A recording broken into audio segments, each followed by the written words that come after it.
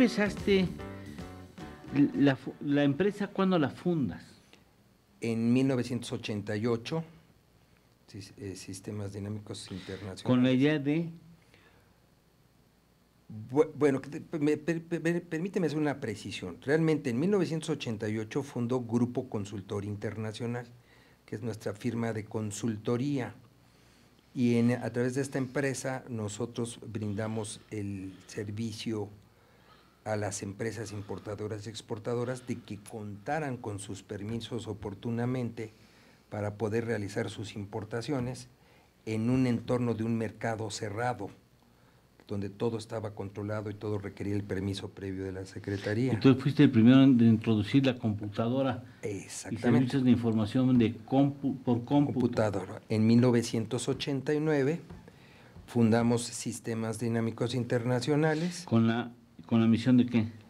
Bueno, Sistemas fue crear un sistema que permitiera consultar las tarifas de importación y exportación por computadoras y mantenerlas actualizadas este, lo más pronto posible.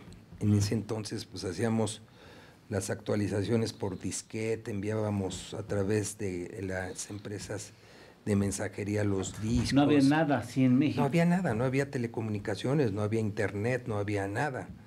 Yo te puedo decir que quizás este, seamos la primera empresa en México que, que vendió servicios de información por medios de, sistemas de quién cómputo. Te, ¿Quién te requería la información?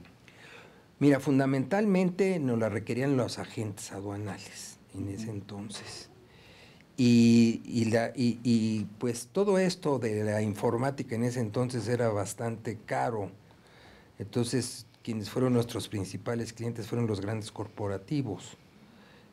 por decirte algo, fue Ford Motor Company, este, Nestlé, este, Grupo Alfa, Vitro, eh, de los que recuerdo, ¿no? La, Embajada de los Estados Unidos, eh, en, fin. ¿Y, cómo te metes a crear un... Hoy tienes productos de software. Son softwares altamente especializados en comercio exterior, sí.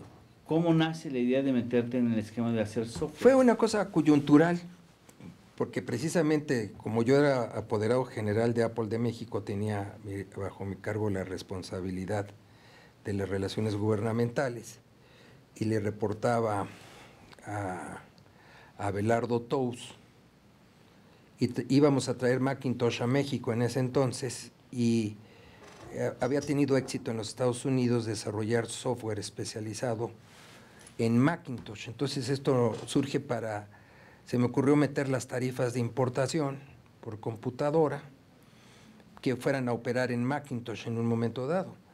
Em, desafortunadamente como Apple se retira de México y ya, no continúa el proyecto y a través de, ya de nuestra empresa Grupo Consultor Internacional, la, lo desarrollamos en DOS y fundamos posteriormente Sistemas Dinámicos Internacionales. Para dar servicio a cualquier importador y exportador que requiera de información legislativa. Es un, ahora, ¿esos son software líderes en el mercado nacional? Así es. Así es. ¿En dónde radica su, su, fuerza? Mira, yo diría que la fuerza de nuestros sistemas están en varios puntos. El primero, el que la, los servicios de información son servicios de información legislativa, son servicios de muy alta responsabilidad. Y la primera fortaleza que tienen nuestros sistemas es que son sistemas altamente confiables en el manejo y procesamiento de la información legislativa que manejan. Segundo, la oportunidad con la que nosotros estamos enviando permanentemente las actualizaciones a nuestros usuarios. La tercera es que contamos aproximadamente a nivel nacional e internacional con cerca de 25 mil usuarios, los cuales pues, son especialistas en todas las áreas de la legislación aduanera y del comercio exterior de México y pues son nuestros grandes usuarios y a su vez nuestros grandes auditores, ¿no? Oye, pero este, si esas, estos sistemas de software son aplicables y son útiles para las pymes. Fíjate que lo que comentábamos la última reunión que estuvimos platicando, yo, yo estoy seguro de que las pymes, si las queremos incorporar al comercio exterior de México, tenemos que eh, educarlas. Sí, por supuesto. Tenemos que enseñarles a hacer comercio exterior. Hoy en día, eh, a través de los sistemas de cómputo que nosotros hemos desarrollado, pues estamos posicionados entre medianas y grandes empresas.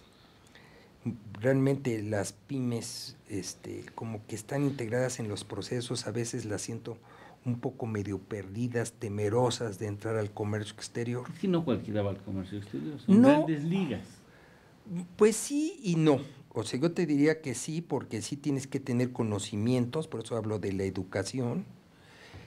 Y por otro lado, también tenemos que darnos cuenta que todos los, inclusive los grandes países como Estados Unidos, cuentan con una estructura de apoyo a las pymes muy fuertes, que es el, Creo que México es de los menos este, favorecidos. tienes el Small Business Administration en los Estados Unidos, ¿no?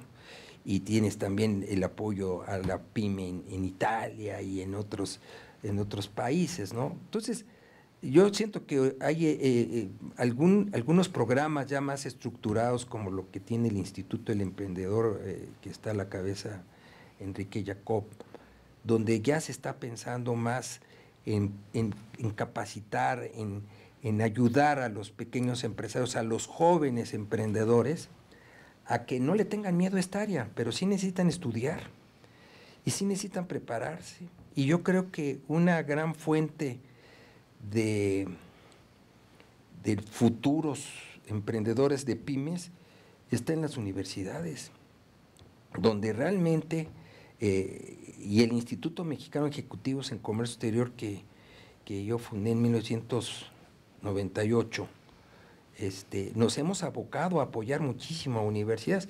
De hecho, nuestra propia empresa tiene un programa muy extenso de apoyo a las universidades. Por darte un ejemplo, este, nuestros sistemas, eh, el día en línea se utiliza. ¿Y a qué se dedica el día en línea? Día en línea es la misma información legislativa de la base de datos, ya que es una solución de escritorio, pero esta es consulta por internet. Es con la nomenclatura en inglés y en español y es un desarrollo muy particular para apoyar los ejecutivos que tienen que hacer negociaciones comerciales internacionales. Y este día con el que, se lo día este se lo das a ¿A las universidades? A las universidades. por darte, te decía, por darte un ejemplo, al Tecnológico Monterrey, tenemos muchos años, desde creo 1989 que lo hemos venido apoyando y estamos prácticamente en todos los campus, en la Universidad Panamericana y, en la Universidad del Mayab, algunas eh, universidades hasta pequeñas, ¿no? Ese es el primer software. Sí. ¿No? Después también tienes otro, ¿no? Bueno, este. uno que, que, estamos precisamente liberando en esta semana, que es el, se llama el COA, es el control de operaciones aduaneras, es un sistema, es un software que permite eh, pues la supervisión, verificación y compulsa y auditoría de las operaciones desde las instrucciones de compra de la empresa pasando por todos los pedimentos antes, durante y después del despacho aduanero y la integración del expediente digital que ahora eh, está solicitando las autoridades aduaneras que los importadores y exportadores... ¿Cuánto tiempo tardaste en desarrollar esto? Ese, ese desarrollo, ¿El COA? El COA, aproximadamente unos dos años. ¿Y el día? Bueno, día, día eh, una vez que lanzas un producto de estos, este, es, eh, Sí, la base de datos día estamos liberando en esta semana también este, la versión 8.0 del día, o sea, el día tiene 26 años en el mercado, es un producto muy reconocido en el medio y la versión 8.0 quiere decir que ocho veces hemos cambiado y actualizado todo el sistema de cómputo. ¿Tú qué futuro le ves a las pymes en la exportación? Yo, yo veo que, mm, que va a haber eh, pymes muy especializadas. Por ejemplo, en la industria automotriz, la industria aeroespacial, todo lo que se está desarrollando en la zona de Querétaro. Yo creo que por ahí se van a empezar a integrar a, las cadenas productivas que están orientadas por la industria automotriz a la exportación o la industria aeroespacial, etcétera, que son grandes usuarios de tecnologías. Por eso yo decía que las fuentes de donde van a emanar estas eh, pymes especializadas debe de venir de las universidades. ¿Dónde pueden comunicarse contigo? Mira, los teléfonos de, nuestra empresa es el 5250 48 14. ¿Correo? El correo es este SDI. SDI. Punto, ah, com .mx. Esa es nuestra página web. Allí pueden entrar y consultar toda la información respecto de lo que acabamos de hablar. Y este y pues estamos a sus órdenes. Déjame, vamos a hacer, eh, suspendemos en esta, esta primera parte de la charla que sostenemos con Ricardo Rosas Herrera para preguntar ya perspectivas de o, cómo ve que las pymes pueden aprovechar las oportunidades que se abren en el mercado internacional, ¿no? Porque ahora estamos recibiendo muchos productos, de, por ejemplo, de pymes chinas. Así es. Y no estamos teniendo ese mismo vigor, ¿no? No, no estamos aprovechando. Lo, lo, podemos platicar, pero yo veo allí, por ejemplo, la integración de estrategias muy corporativas. Y cuando hablo muy corporativas, es corporativas desde el punto de vista desde el gobierno con su iniciativa privada y cómo apoyan la promoción y comercialización de sus productos. ¿No ves esa misma...? Pues yo creo que deberíamos de analizar y estudiar bien ese modelo que ha sido exitoso, ¿no? Este, y que pues yo no veo por qué no podamos eh, establecerlo en México cuando tenemos de socio el mercado más importante eh, del mundo, ¿no?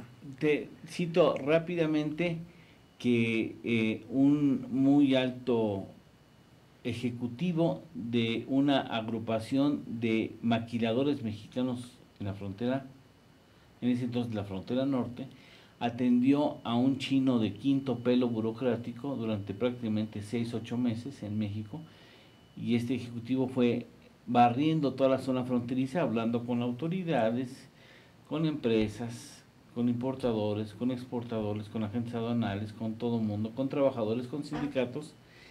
Y después de seis, ocho meses de estar en México se fue a China. Y después lo que hicieron, él fue expuso ante un grupo de especialistas en muy diversas áreas, desde la económica, social, etcétera, etcétera, y les explicó el modelo maquilador mexicano. Entonces hablan de los 70, ¿no? Más Así es. De los 70. Y después mm, se rompe, digamos, después de tres semanas está recibiendo detalles, se rompe ese grupo multidisciplinario y cada quien se, se va a trabajar. Seis, ocho meses después se reúnen otra vez los, los especialistas en diversas áreas en China y conforman lo que sería el gran éxito de la economía china, su gran impulso, su gran programa de maquila que dominó el mundo y que sigue finalmente siendo el éxito más rotundo de la economía global, China como la fábrica del mundo. En alguna ocasión, déjame de acabar de darte el chisme completo y el público por añadidura, que em, estando en una visita del presidente Vicente Fox a China, antes de que se dé un evento oficial nocturno, ya ves que son las cenas famosas, eh, este alto ejecutivo de la asociación o de la agrupación de maquiladoras mexicanas le comenta a Derbez, Luis Ernesto Derbez, secretario de Economía en ese entonces, esta anécdota que te acabo de decir. Eh, Derbez incorpora al presidente de la República la plática y le dice, y disculpe usted que utilice esas palabras, pero fueron textuales, le dice, oye Vicente, mira este güey dice que los pinches chinos nos copiaron el, modelo, maquilador. mexicano. Llega el dirigente chino y el presidente Vicente Fox dice, oiga, es cierto que ustedes nos fusilaron el maquidestema. Y el señor, el primer, este, la primera autoridad china dice, sí, efectivamente, estaba fulanito de tal, que estuvo entre seis y ocho meses estudiando a detalle su sistema maquilador mexicano. Y lo que hicimos fue conocerlo, conocerlo a la perfección para que nuestros especialistas lo mejoraran y de ahí la fuerza exportadora china. O sea, ese producto modelo de maquila exportador se lo debe China a México de alguna manera. Me estás hablando de esto de durante la cumbre de Monterrey en el 2001. Estamos hablando ya hace algunos años. Yo en ese entonces formé parte de la comitiva de Luis Ernesto Derbez. Me invitó a ser parte de su, de su comitiva. Fue una reunión muy interesante donde aprendimos muchas cosas yo en lo particular aprendí mucho de las negociaciones comerciales internacionales a muy alto nivel y me merecen las autoridades de ese entonces todo mi respeto desde entonces. Yo soy un apasionado de México y su comercio exterior. Y yo sí te quiero decir que, que todo en este mundo es perfectible.